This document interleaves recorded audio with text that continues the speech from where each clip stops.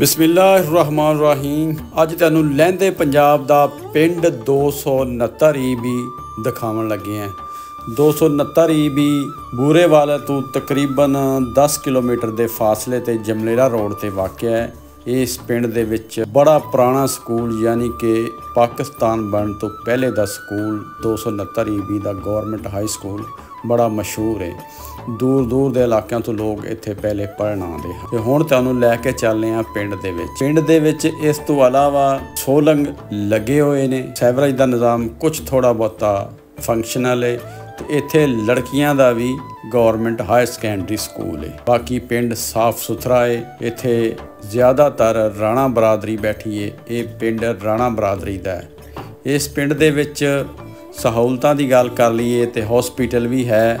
ਇਸ ਪਿੰਡ ਦੇ ਵਿੱਚ ਲੋਕ ਪੁਰ ਅਮਨ ਪੁਰ ਸਕੂਨ ਲੋਕ ਰਹਿ ਰਹੇ ਨੇ। ਕਾਫੀ ਪੜ੍ਹੇ ਲਿਖੇ ਲੋਕ ਨੇ, ਮੁਲਾਜ਼ਮ ਤਬਕਾ ਹੈ। ਇਸ ਪਿੰਡ ਦੇ ਵਿੱਚ ਦੋ ਮਸਜਿਦਾਂ ਨੇ। ਇਹ ਮਸਜਿਦ ਅਜੇ ਤੱਕ ਜ਼ੇਰੇ ਤਾਮੀਰ ਹੈ ਤੇ ਬਾਜ਼ਾਰ ਕਾਫੀ ਖੁੱਲੇ ਤੇ ਕਸ਼ਾਦਾ ਨੇ।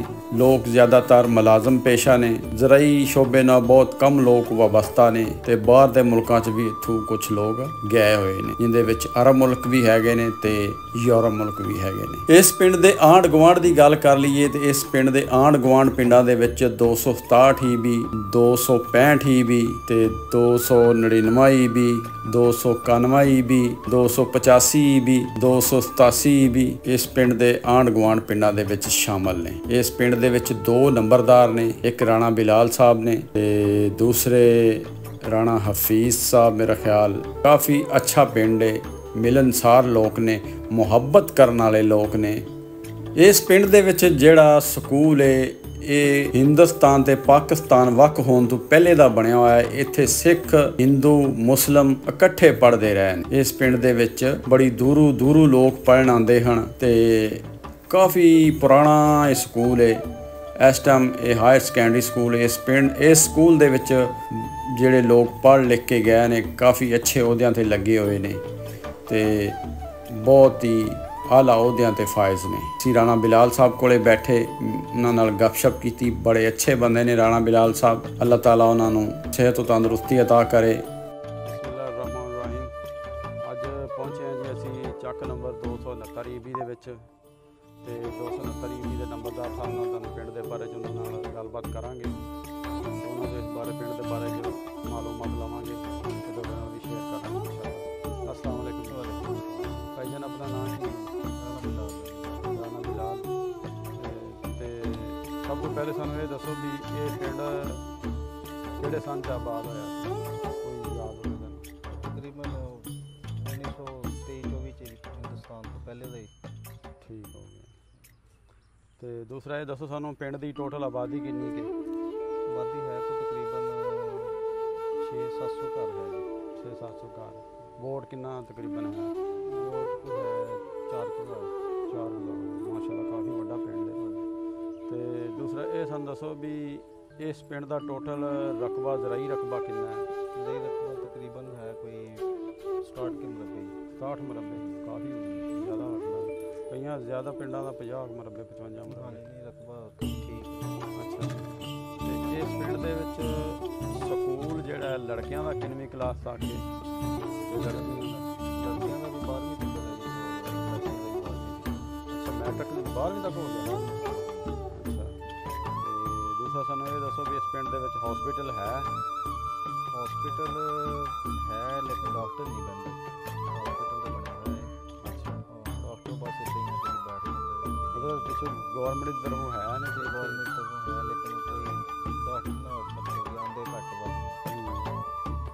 ਤੇ ਯੂਨੀਅਨ ਕੌਂਸਲ ਇਸ ਪਿੰਡ ਦੀ। ਨੇ ਯੂਨੀ ਕੌਂਸਲ ਨਾਲ ਦੇ ਚ। 267 ਦੀ ਲੱਗਦੀ। ਹੈ। 267 ਵਾਲੀ ਸੀਗੀ ਲੇਕਿਨ ਹੁਣ ਸਾਨੂੰ 265 ਬਣੀ ਹੈ। ਅੱਛਾ। ਤੇ ਇਹ ਦੱਸੋ ਵੀ ਪਿੰਡ ਦੇ ਵਿੱਚ ਸੋਲੰਗ ਲੱਗੇ ਹੋਏ ਨੇ ਪੱਟੀਆਂ ਜਾਂ ਸੋਲੰਗ ਛੋਲਣ ਲੱਗੇ ਆ।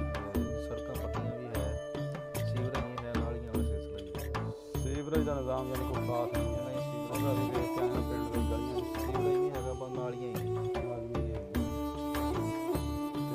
ਤੇ ਇਸ ਪਿੰਡ ਦੇ ਵਿੱਚ ਜ਼ਿਆਦਾ ਬਰਾਦਰੀ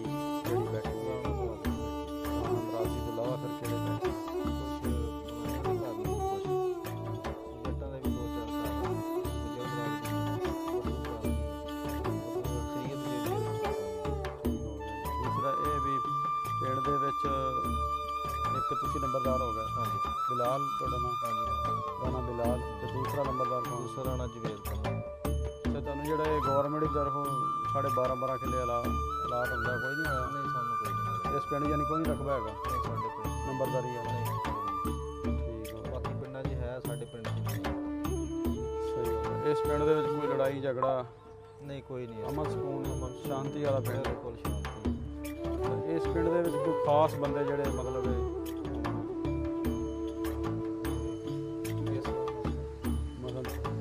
ਚੰਦ ਤਗੜੇ ਤਗੜੇ ਬੰਦੇ ਹੋਣ ਨਹੀਂ ਕੋਈ ਨਹੀਂ ਹੈ ਠੀਕ ਨਾਰਮਲ ਜਿਹੇ ਲੋਕ ਨਾਰਮਲੀ ਲੋਕ ਹੈ ਤੇ ਏਡਾ ਰਕਬਾ ਨਹੀਂ ਲੋਕਾਂ ਦੇ ਕੋਲ ਹੈਗਾ।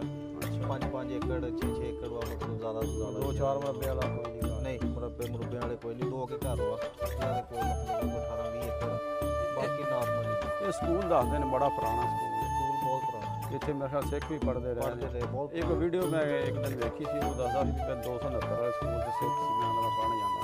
ਸਾਡਾ ਪਿੰਡ ਜਿਹੜਾ ਮਸ਼ਹੂਰ ਹੀ ਮਤਲਬ ਕਿ ਸਕੂਲ ਤੋਂ ਸੀਗਾ 269 ਸਕੂਲ ਵਾਲਾ ਔਰ ਉਸ ਤੋਂ ਬਾਅਦ ਚ ਹੁਣ ਮਸ਼ਹੂਰ ਹੈ ਰਾਣਿਆਂ ਦਾ 269 ਰਾਣਿਆਂ ਇਹ ਸਕੂਲ ਦੇ ਵਿੱਚ ਕੋਈ ਤੁਹਾਡੇ ਪਿੰਡ ਦੇ ਬੰਦੇ ਪੜ੍ਹਦੇ ਕੋਈ ਚੰਗੀ ਨੌਕਰੀ ਦੇ ਕੋਈ ਗਏ ਜੀ। ਹਾਂਜੀ ਸਾਡੇ ਪਿੰਡ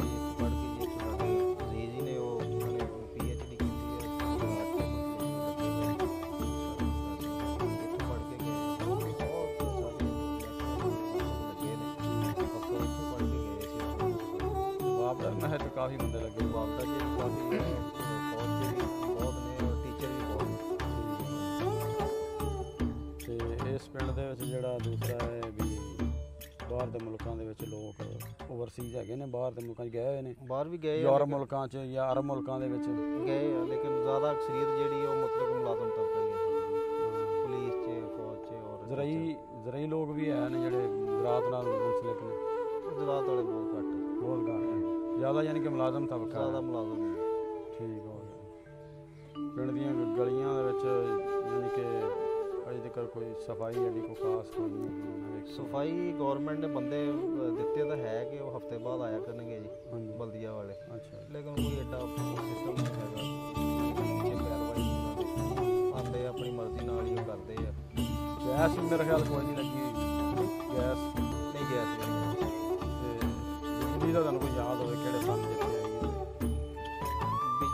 ਤਕਰੀਬਨ ਮੇਰਾ ਖਿਆਲ ਹੈ ਕੋਈ